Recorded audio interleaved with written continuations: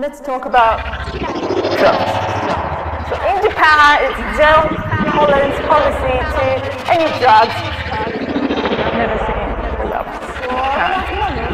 자, These 뒤에 뒤로 zero tolerance and Nah,